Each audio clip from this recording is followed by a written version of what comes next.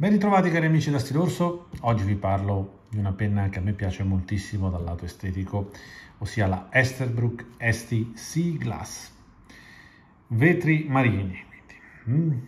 È una penna in acrilico, ma un acrilico a mio avviso molto bello perché ha dei riflessi strepitosi. Varie tonalità di verdi, da quello più chiaro a, a quello un po' più tendente al blu, qualche tendenza qua all'oliva. Una penna dalle forme semplicissime, semplicissime, ma senza alcun orpello, senza anelli finali, iniziali. Quindi un design molto essenziale, molto semplice direte voi, niente di nuovo. Ok, è vero, niente di nuovo, però forse converrete con me che l'impatto di questa penna è davvero interessante nel suo complesso.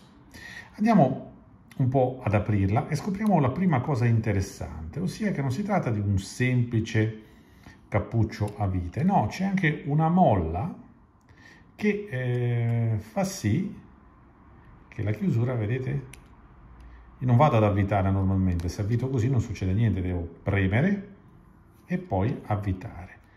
All'interno del cappuccio è presente un controcappuccio in plastica che previene dall'asciugatura del pennino. Quindi Bene, questo è un dettaglio ben fatto. Esterbrook è un marchio americano che però in realtà ha poco a che spartire con, con lo storico marchio Esterbrook, la penna usata da Karl Barks, il creatore di Topolino, usata pare anche da Walt Disney, forse da Kennedy. No, è un brand che adesso è proprietà della Kenro Industries. Stanno lavorando bene? Sì, a mio avviso stanno lavorando bene. Ci sono ovviamente dei dei difetti in questa penna, come in quasi tutte le penne. E, ehm, qual è uno dei primi difetti che ho notato? Che allora è una penna che non costa poco, ok? Costa parecchio, andate a vedere poi il listino. Ecco, il converter è semplicemente appoggiato, non è avvitato. E da una penna di questo lignaggio, insomma, ci saremmo aspettati qualcosa di più. Per il resto, invece, gli altri dettagli sono ben curati. Mm, vedete lo spessore del fusto è, interessante, non è una, un acrilico sottile ed è anche ben fatto perché l'invito della filettatura è metallo su metallo e questo ci fa pensare che sia destinato a durare. Poi, eh, che dire, ehm, il pennino, i pennini ormai lo sapete, ne abbiamo parlato in alcuni video, Iovo la fa da padrona. La fa da padrona perché... Eh, perché ovviamente dà una buona affidabilità media, cosa che Bock ultimamente pare eh, possa garantire in maniera molto inferiore questa affidabilità. Però Esterbrook offre la possibilità di comprare un pennino un po' diverso, ossia un pennino journaler, ehm, fatto dal Nib Studio, Custom Nib Studio di Los Angeles e in particolar modo nella persona di Gina Salorino. Pennino journaler, cioè un pennino adatto al, al diario, al nostro diario quotidiano, su base, su base M. E andiamolo a vedere un po' più da vicino. Eccoci qua, siamo su, ovviamente su base Iovo, un medio a cui però è stata tagliata la punta per renderlo un pennino corsivo. E il taglio non è proprio netto, quindi non è un italico, rimane più uno, uno stab, e quindi gradisce, ehm, offre una certa morbidezza all'uso. Mm, e adesso però andiamo a inchiostrarla e vediamo come scrive. Ci voglio mettere un bellissimo inchiostro regalatomi da Davide, grazie ancora Davide, questo inchiostro mi piace da morire, il cobalt blu, blu cobalto, abbiamo parlato del cobalto, bellissimo. Questo inchiostro della Graphics Faber-Castell, andiamo a aspirare l'inchiostro con il nostro converter, così è sufficiente, non vado a riempirla proprio del tutto, una pulitina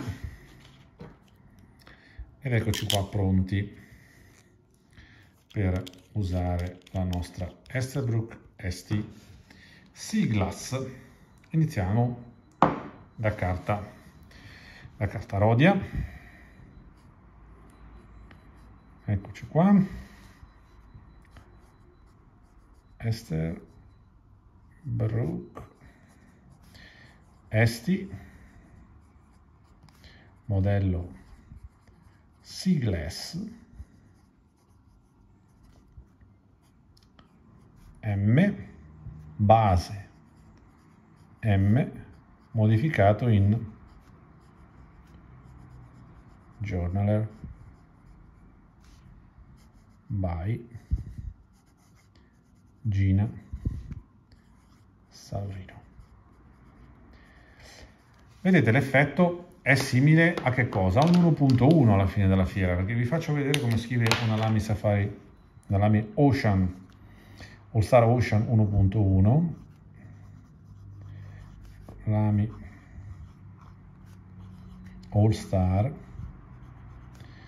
1.1.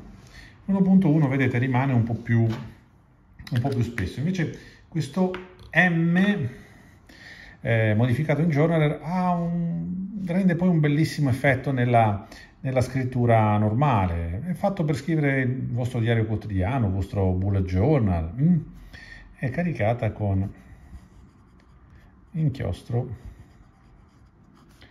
Graf von Faber-Castell Cobalt blu, blu cobalto. E su carta rodia, a mio avviso, l'effetto è, è, molto bello, è un pelino che a me piace molto. Mm. Adesso, prima di andare a vedere come scrive anche sulle altre carte, vediamo un po' i paragoni dimensionali. Come vedete, la Esterbrook Esti è una penna davvero, davvero, davvero grande. Guardate un po', è larga come un foglio A5 Vediamo il confronto con una 46L, che è pure una penna enorme. Vedete, siamo lì. Altra penna in acrilico. Altra penna in acrilico, Maiora Alfa Costiera Malfitana, un pochino più piccola. Tre modi diversi di declinare l'acrilico. Mm. Vi potrei far vedere anche questa, la Purple Ah, belle le penne in acrilico, le penne in acrilico, io le trovo molto estive, molto fresche, poi magari uno dice ma è solo un acrilico, ok, però converrete con me che sono penne gioiose, questa è la dimensione con l'AMI. All Star, quindi la Esti ricordatevi è un pennone, ma adesso andiamo a vedere su carta un po' più di scarsa qualità. Bene, qui siamo sul quaderno della Flying Tiger, di quelli di carta riciclata, molto anonimi, molto banali, andiamo un po' a vedere se si riesce a scrivere eh, anche su questa carta con un pennino comunque dal flusso abbastanza generoso. Ecco, la penna si può calzare? Sì, si può calzare e calza anche bene, non la perdete. Certo, diventa un po' troppo grande forse, però ecco, si può calzare. Andiamo un po' a vedere come scrive questa Esterbrook. ST. Sì class. Il tratto ovviamente qua diventa un pochino, un pochino più ampio, ma assolutamente eh, gradevole. Vediamo un po' come inchiostra. Ovviamente vedete un'inchiostratura veramente, veramente generosa, veramente generosa. Questa è una penna che non vi lascia, non vi lascia piedi, ecco eh, anche proviamo, non lo so, a fare un po' degli scarabocchi, assolutamente il flusso, il flusso c'è sempre, è pensata per quella, è pensato proprio per, per fare dei diari, quindi insomma, non vi può lasciare lì con, con uh, poco flusso, quindi flusso, devo dire, eccellente. Ma quindi andiamo un po' a vedere i pro e i contro di questa penna, perché abbiamo parlato tanto, allora, pro, contro, contro, l'abbiamo detto, eh, converter mh, mm, non avvitato. Questo per me è un grosso contro per una penna che costa parecchio. Mm. Un altro contro, beh, la clip ragazzi è veramente anonima, fa il suo, neanche un po' rigidina, la clip non mi fa impazzire. Lo so, con le clip sono abbastanza noioso, però volete mettere una clip così? Eh beh, non c'è paragone, eh? non c'è paragone. Poi il Pro è um, pennino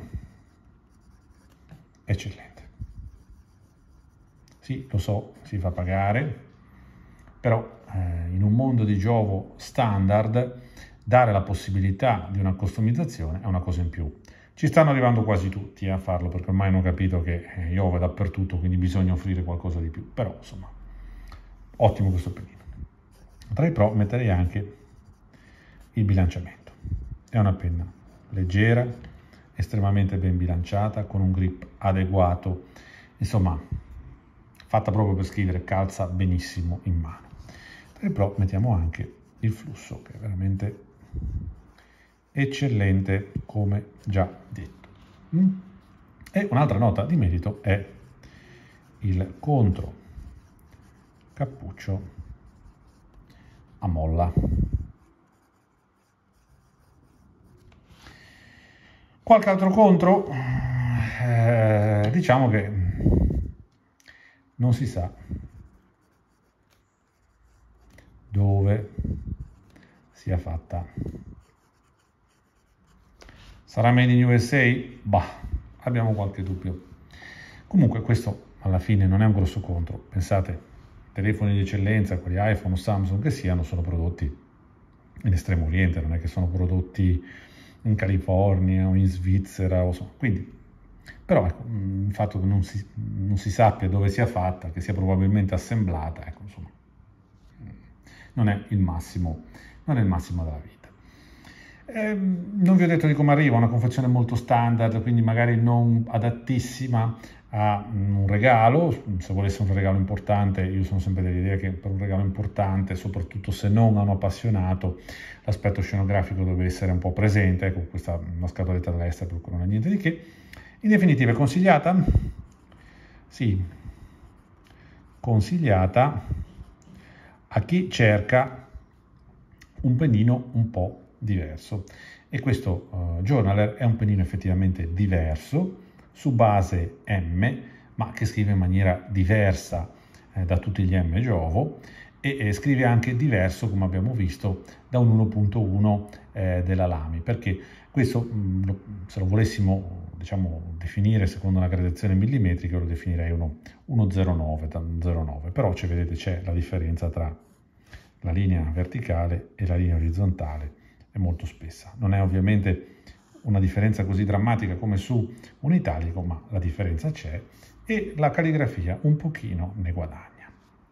Bene, fatemi, fatemi sapere cosa ne pensate di Esterbrook in generale, loro lo sapete ne fanno di tantissimi colori, la Est è il loro eh, cavallo di battaglia, è in vendita addirittura un adattatore per poter montare i pennini vintage. Eh, io mi sento di promuoverla, se la trovate con un buono sconto meglio perché a prezzo pieno a mio avviso il, costa come una penna italiana fatta in Italia, quindi fate le vostre eh, valutazioni. Io vi invito a iscrivervi al canale se il video vi è piaciuto, ma anche se non vi è piaciuto, tanto è totalmente for free, gratuito. Eh, fatemi sapere, commentate, un abbraccio e alla prossima da Stilorso.